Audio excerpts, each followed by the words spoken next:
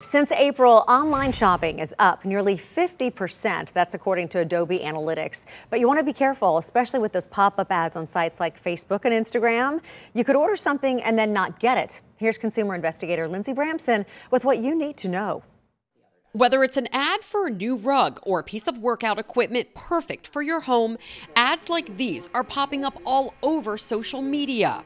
But you want to be careful. Things aren't always what they seem it's like a kid in a candy store right now for them. Robin Householder with the BBB of Middle Tennessee is talking about scammers. In some cases, she says scammers use fake companies to get your money and steal your personal information. You're giving them your credit card information, your shipping address, your personal phone number, your personal um, address. So, whether it's a glass to keep your drinks cold or a cute picture frame, before you buy these things online, Google the company's name that pops up to be certain it exists.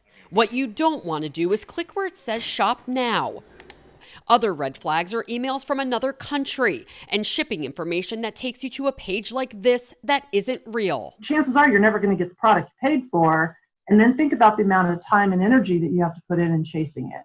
But here's the good news. If you charged it, you can call your credit card company and dispute that charge. In most cases, it's considered fraud and they'll credit your account back. Lindsay Bramson, News 4 Nashville.